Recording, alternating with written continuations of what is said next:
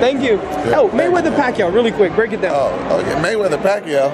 If it happens. Pacquiao shouldn't even show up, man. Come on. Why? Because that's Floyd. He's the best defensive fighter. He's the best offensive fighter. His best chance was a few years ago, but you know, bef- at that point before Floyd was asking for a blood test. But you know, now he's gonna have to take it, and he's gonna take that beating too. I, I see you know your boxing. I'm impressed. Come on, How do you know? How, how does a guy who gets hit by everybody, how, how do you outsmart the best counter puncher in the game? I mean, you know, when he get to rolling that shoulder, he's not gonna touch Floyd. You can't even tell Floyd is a boxer after his fight. Be the leader. So you'll be an auto bottom on the I had the beat, actually. I might be the first hire. So what was your, did you have a lot, did you have a huge collection growing up Transformers? I did, I did, and my son picked up right where I left off. That cat named our dog after this farm. So, uh, man, you know, Transformers are everywhere. Fat hands, toys, video games, all over the place. Last thing for you, what does it mean for you to be out here and just being fully involved with Florida State and Auburn? So the very last BCS championship game. It means everything. You know, I- I'm a California native. When I went to Florida State, uh, you know, they were just coming off that, that 2000 run, you know, when they lost to OU. C started hitting it big, so everybody was like, why did you stay home? I'm trying to get them to understand the swag and, the talent that's out there at Florida State. So, um, you know, to have to have us finally, you know, get back to where we should be, um, you know, give me tremendous bragging rights, tremendous pride, obviously, and, and being able to relive those old memories and, and, and make new ones with, with, with old teammates. guys. All right, well, thank you so much enjoy the rest of the evening. Loren- Lorenzo, I gotta ask you a question. Yes. You're a football star. You're not 6'9", you're not 400 pounds. How do you make it in a league where everybody's like so huge? You got to know your niche, man. And my, my niche is speed and quickness and Speed and- kills. Oh, it does always. You know that's why that 40 is so important. Do you use a lot of fakes, like feints to shake them off? oh, that's that's all I do. Without that, man, I'd be broke up. So how, how do you work on it? If I'm, I'm a young football player, I want to do what you're doing.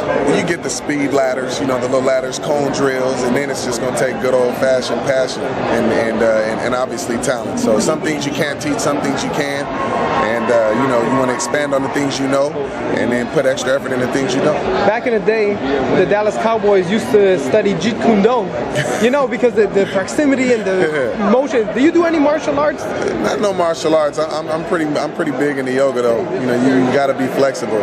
So I, I like to get my stretch on, you know, and, and uh, make sure it cuts down on injuries. Are you a fan of other sports besides football? What do you follow the most? What are you passionate about? Basketball. My cousin James Ennis just got drafted to the Heat, 50th overall. So, uh, you know, I'm definitely following them. It's kind of a, a, a conflict of interest because you know the Lakers is my squad. So, uh, you know, I actually have a reason to root for the Heat now. But not only that, but you know the reality of it. The whole family always calls one athlete of the family to ask for money, so now they all call him. Oh, yeah, I'm glad it's off of my shoulders. You know, Jay, we all, yeah, besides basketball money is guaranteed.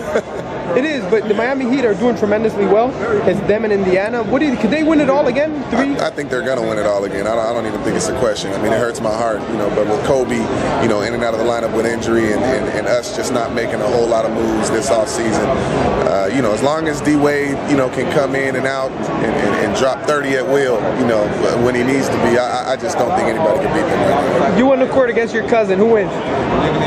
It's gonna be close, but it, you know, in a game to 11, I'm gonna say he wins 11 to nothing. But very quick. You got the speed. You ever thought of joining the American team for the Olympics, like for track and field? Definitely Because. Usain Bolt destroys everybody. Definitely not. That Usain Bolt is 6'4", but his turnover is like mine, and I'm 5'10". But uh, you know, uh, running track, man, I, I just can never, I can never get that dog out of me. You know, but you had to give me a football and have 10 cats chasing me, you know, for me to, you know, get that, get that out, get that speed out of me. My last question: Who's the hardest hitter in the NFL? Who's the guy that tackled you? Like, man, that guy, that was a tank. That was inhuman. Man, I'm gonna have to say Zach Thomas hit me the hardest. Him and Lance Briggs. I mean, they just, those were the hits I felt, you know, two weeks later. Why? What, what is the? What did they do? Uh, well, I mean, they're 250 and it's all muscle. And Zach hit me when I caught a slant and just baptized me right there in Cowboy Stadium. And uh, Lance Briggs, for whatever reason, whether he's blitzing or whether I'm trying to catch a screen and I end up getting knocked out by him, he was just always around the ball. But when you got a guy that big, that strong, and that fast, it's kind of hard to avoid that. So, Lorenzo, you're here in LA, Pasadena, big game. What's it like for you to be here as someone that a lot of these kids look up to, that want to be where you are? Well, it's funny. Me and Leon were in practice, and you got Jameis and all these other guys. Oh man, I was six, number 28, number three, and it's like Man, how old are we then? You know, if Jameis is winning the Heisman right now, and he was nine and, and, eight years old in grade school. So, but I mean, it's still cool to, to watch those guys that are that are playing well now, and, and, and now we're in that position because we were that age at one point, and we were looking up to those guys at one point too. So, um, I mean, it's flattering, but but it's it's it's amazing. I mean, you couldn't ask for anything else. If you weren't a football star, what would you be doing right now? Probably do construction. Really? I love houses. I started fixing up my house and, and couldn't stop. oh, where do you send them? I'm not on Twitter. I'm not a social media guy. Really? Nah, but they can shout me out anyway. Hashtag Lorenzo Book. okay, we'll do that. Stay tuned. BSReport.com and Elie Seckbach reporting.